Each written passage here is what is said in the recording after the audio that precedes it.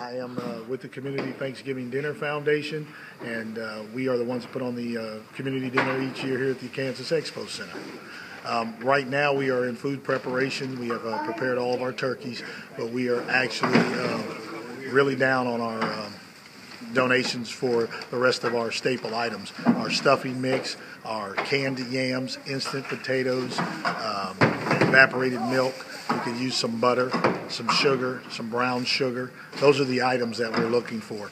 Um, as you can see here behind me, as you uh, that our bins that are normally overflowing at this time on Wednesday morning are actually very low. We're sitting at about 50% of what we would usually have by this time um, on, a, on, on, a regular year. So we're in, we're in dire straits to get some more food donated. So where do they bring it and how do they get it here and how soon do you have to have it?